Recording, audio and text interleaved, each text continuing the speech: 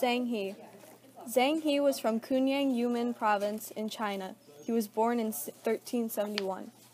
He was the son of a Muslim. At age 10, the last Mongol hold in China was reconquered by the Ming Dynasty. At this time, he was among other captured boys who were put in the army.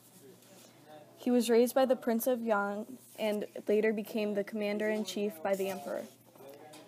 Zheng He first set sail in 1405 to explore the western oceans.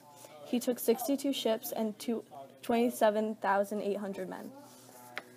His goal was to start campaigns to defeat foreign threats and to establish stronger relations with other countries. Zheng He's ships were enormous, weighing 30,000 tons. Christopher Columbus's Santa Maria was about one fifth the size of Zheng He's. These ships were over 500 feet long and 200 feet wide. They carried 28,000 sailors. Zheng He's gigantic ships increased China's overall prestige.